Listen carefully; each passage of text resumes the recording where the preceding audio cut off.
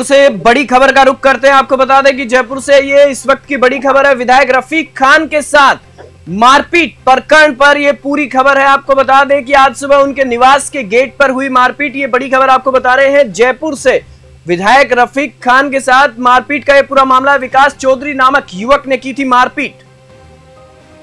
Police ने आरोपी विकास चौधरी को लिया हिरासत में। बड़ी खबर आपको बता रहे हैं। जयपुर से पुलिस की प्रारंभिक जाँच में आया सामने। पैरामिलिट्री फोर्स में असिस्टेंट कमांडेंट रह चुका है विकास चौधरी, जिसने मारपीट की है। राष्ट्रपति के हाथों शौर्य चक्र विजेता है विकास, आपको बता दें कि जयपुर से बड़ी खबर है, जहाँ रफीक खान विधायक के साथ मारपीट की गई है। वर्ष 2021 में पेपर लीक से आहत होकर सीआरपीएफ से लिया था वीआरएस। फ़िलहाल पुलिस कर रही विकास से पूछताछ और इस खबर पर जानकारी के लिए हमारे वरिष्ठ संवाददाता सुरेंद्र हमारे साथ जयपुर से जुड़ चुके हैं। जी सुरेंद्र बताइए क्या कुछ पूरा मामला है?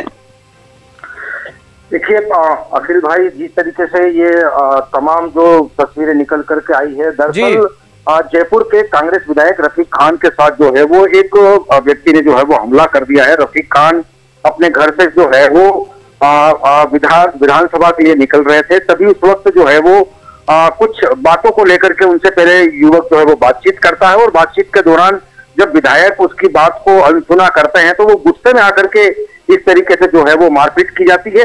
हालाँकि सूचना मिलने पर जो है वो वहाँ पर पुलिस पहुँची है। पुलिस ने डीसीपी वेस्ट अमित कुमार हैं उन्होंने हमलावर की पहचान भी कर ली है। और मूलत रूप से विकास झाकड़ जो है विकास झाकड़ करके जो साम नाम ने आसाम मतलब नाम जो सामने आया है। जी। अब इसको लेकर के तमाम पूछताछ की जा रही है कि क्यों मारपीट की गई थी किस तरीके से मारपीट की गई थी। लेकिन जो प्रत्यक्षदर्शी हैं जिन्होंने प्रत्यक्षदर्शी ने हमें बताया है कि आ, आ, जो विकास झाकड़ है जिसने विधायक के साथ मारपीट की है जी। उनकी पत्नी जो है वो स्वास्थ्य कर्मी है और लगातार स्वास्थ्य विभाग में उसकी पत्नी को जो है परेशान किया जा रहा था। तो इस परेशानी का जो है वो तमाम विवरण देने के लिए विधायक के पास वो व्यक्ति पहुँचा था।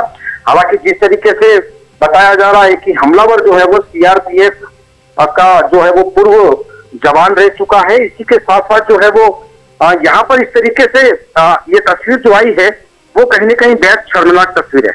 जी, और सुरेंद्र, मैं आपसे ये भी पूछना चाहूँगा कि जिस प्रकार से मारपीट का ये पूरा मामला सामने आया है, हम न्यूज़ ट्वेंटी वन पर एक्सक्लूसिव तस्वीरें भी दिखा रहे हैं, जिस प्रकार से हम विजुअल में देख पा रहे हैं तो विकास जो है असिस्टेंट कमांडेंट रह चुका है। उसके साथ भी मारपीट की गई है। यहाँ पर जिस प्रकार से हम वीडियो में देख सकते हैं। देखिए जिस तरीके से ये वीडियो जो वायरल हुए हैं जी। इन वीडियो से या इन वीडियो को देखकर ये कहा जा सकता है कि विकास झाकड़ जिसने मारपीट किए विधायक के रफीक खान के साथ वो अकेला नहीं गया था। क्योंकि देखिए कि पीछे से आप दो तीन अलग अलग आप अलग अलग विजुअल्स देख पा रहे हैं कि एक व्यक्ति जो है वो दूर से वीडियो बना रहा है और एक व्यक्ति जो है वो बिल्कुल रफीक खान के लेफ़्ट साइड से वीडियो बना रहा है। बिल्कुल, यानी कि इन वीडियो को देख करके ये कहा जा सकता है कि जो मारपीट जो हमलावर युवक था उसके साथ में एक या दो युवक साथ और हो सकते हैं। क्योंकि जहाँ तक ये जानकारी सामने आई है कि ये वीडियो जो है वो रफीक खान के समर्थकों के द्वारा नहीं बनाया गया है। ये वीडियो मारपीट करने वाले साथ में आए युवक के द्वारा किया गया रिकॉर्ड किया गया है।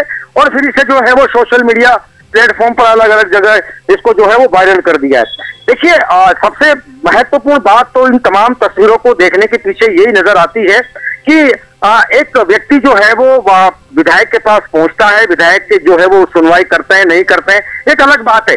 लेकिन गुस्से में आकर के अगर रफी विधायक रफी खान के साथ इस तरीके से अगर मारपीट की गई है तो निश्चित तौर पर अब डीसीपी वेस्ट अमित कुमार तमाम पूरी घटना की जो है वो जानकारी ले रहे हैं। हालाँकि जिस तरीके से ये कहा भी गया है कि व्यक्ति अपनी पत्नी की शिकायत लेकर के गया था क्योंकि हो सकता है कि उसकी पत्नी स्वास्थ्य कर्मचारी है हॉस्पिटल में है तो कार्मिक जो है वो उनको परेशान कर रहे होंगे। और जिस तरीके से व्यक्ति की जो परेशानी थी शायद हो सकता है कि विधायक ने उस परेशानी को नजरअंदाज कर दिया होगा और इस तरीके से गुस्से और आवेश में आकर के इस तरीके की घटना को अंजाम दिया गया। जी मेरा एक आपसे आखिरी सवाल और है कि जिस प्रकार से ये पूरा घटनाक्रम हुआ मारपीट हुई तो इसमें जो विधायक है रफीक खान उनका भी कोई बयान सामने आया है? देखिए अभी आ, बहुत जल्दी ही रफीक खान इस पूरे प्रकरण को लेकर के वो भी अपना बयान जारी करेंगे कि वहाँ उस वक्त घटना के तौर पर क्या बातचीत हो रही थी क्योंकि रफीक खान के समर्थक भी आस आस पास ही थे। और अब वो जो प्रत्यक्षदर्शी हैं जिन्होंने क्या बातचीत सुनी है ये तो जो है वो जाँच पे ही पता चलेगा। हालाँकि डीसीपी वेस्ट अमित कुमार तमाम घटना की जानकारी ले रहे हैं कि व्यक्ति क्यों पहुँचा किस लिए पहुँचा और किस बात को लेकर के जो है वो रफीक खान के साथ मारपीट की गई है। लेकिन यहाँ पर आ, ये पहली मरतबा ये तस्वीरें नहीं आई है प्रदेश में। कई बार आपने देखा होगा कि विधानसभा चुनाव के वक्त जो है या उससे पहले विधायक ने किसी व्यक्ति की सुनवाई के टाइम पगड़ी उछाल दी थी। तो ऐसी कई तस्वीरें प्रदेश में होती रहती है लेकिन ये बेहद शर्मनाक तस्वीर है। ऐसी तस्वीरों पर कहीं के रोक लगनी चाहिए। जी बिल्कुल और इस खबर पर अपडेट के लिए आपका बहुत बहुत धन्यवाद सुरेंद्र और जिस भी प्रकार की अपडेट होगी हम आपसे आगे लेते रहेंगे। जिस प्रकार से हमारे संवाददाता ने बताया कि जो ये तस्वीरें हैं बेहद शर्मनाक है। विधायक रफीक खान के साथ मारपीट का पूरा प्रकरण है। हमने आपको एक्सक्लूसिव तस्वीरें दिखाई। किस प्रकार से है वो? एक युवक आता है। उनसे बातचीत करता है, उसके बाद उनकी गिरेबान पर हाथ डालने की भी बात सामने आई, जिसके बाद वहाँ जो रफीक खान विधायक हैं, उनके कार्यकर्ता हैं, उन्होंने विकास चौधरी नामक युवक की पिटाई भी कर दी। इसके साथ ही पुलिस ने आरोपी विकास चौधरी को हिरासत में लिया है। पुलिस की प्रारंभिक जाँच में सामने आया है कि युवक पैरामिलिट्री फोर्स में असिस्टेंट कमांडेंट रह चुका है। इसके साथ ही राष्ट्रपति के हाथों शौर्य चक्र विजेता भी है। साल 2021 में पेपर लीक से आहत होकर सीआरपीएफ से इन्होंने वीआरएस लिया था। फ़िलहाल पुलिस पूरे मामले की जाँच कर रही है। और इसमें जिस भी प्रकार की अपडेट होगी, हम आपको देंगे। फ़िलहाल के लिए इतना ही। देखते रहिए न्यूज़ ट्वेंटी